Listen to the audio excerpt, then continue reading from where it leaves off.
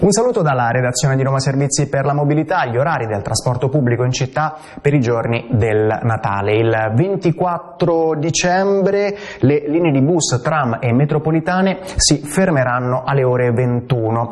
Regolare il servizio dei bus notturni a Natale, le linee di superficie e le metropolitane saranno attive dalle 8.30 alle 13 e poi dalle 16.30 alle 21. Il servizio riprenderà alle 23.30 con le linee di di bus notturne. A Santo Stefano normale orario festivo per quel che riguarda le ferrovie Termini Centocelle, Metromare e Roma Nord. Le informazioni sono su romamobilita.it.